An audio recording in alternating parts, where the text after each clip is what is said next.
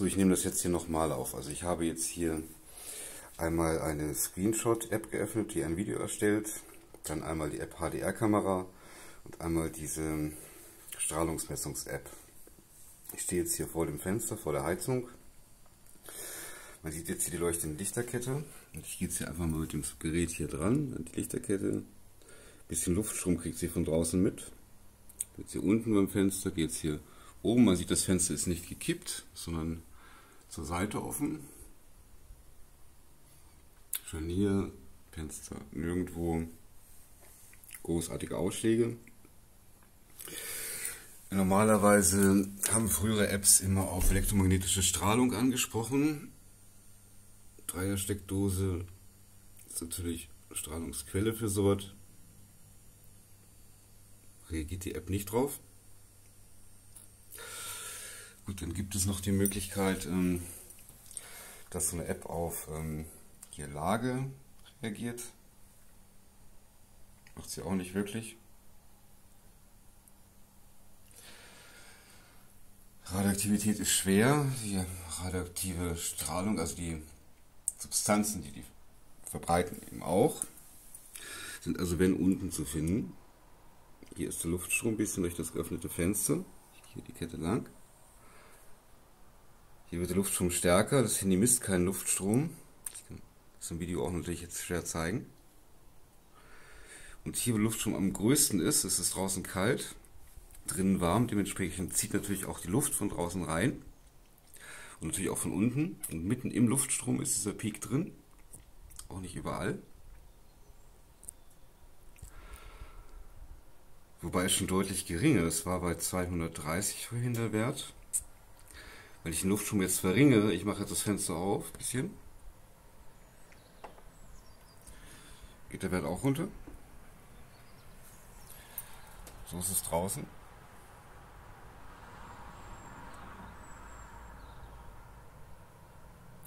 aber immer noch erhöht.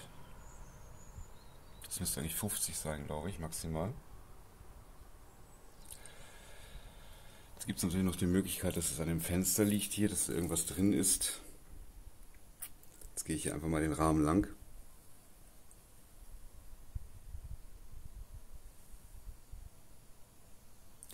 Ist tatsächlich irgendwas. Da wo das Fenster unten staubig ist, wie man sieht aber immer noch nicht den Ausschlag, den ich habe, wenn ich das Fenster jetzt schließe, der Luftstrom stärker wird.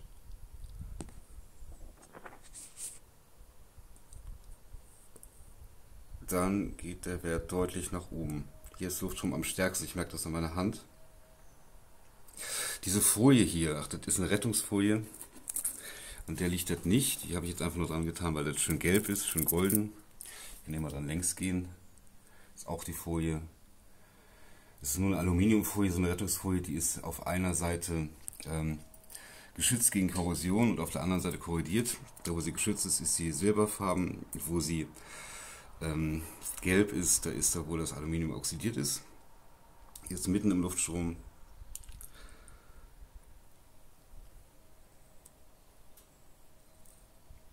Ja, ist natürlich auch wie so eine Art ähm, Sieb hier. Ne? Radioaktivität ist schwer, also die Materialien. Blei und so was. Cesium alles schwer. Ja, und da wo natürlich die Luft mit den schweren Bestandteilen reinzieht, das ist genau hier. Und der Wert ist definitiv zu hoch. Ähm, ich kann hier mal auf den Boden gehen. Hier ist auch so eine Folie. Gut, das ist direkt unter dem Fenster jetzt am Boden.